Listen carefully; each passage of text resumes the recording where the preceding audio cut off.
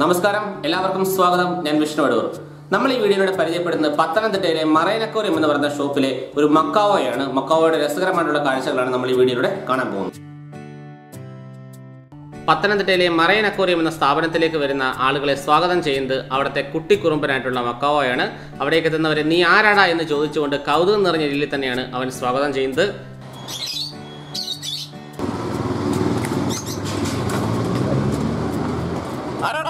ചില ആളുകൾ ഈ കുട്ടിക്കുറുമ്പനുമായിട്ട് വഴക്ക് കൂടാറുണ്ട്. അങ്ങനെ വഴക്ക് കൂടുന്നവരെ നീ ആരാടാ? നീ പോടാ എന്നൊക്കെ പറഞ്ഞ് ഓടിച്ചു വിടാനും അവന് യാതൊരു മടിയുമില്ല.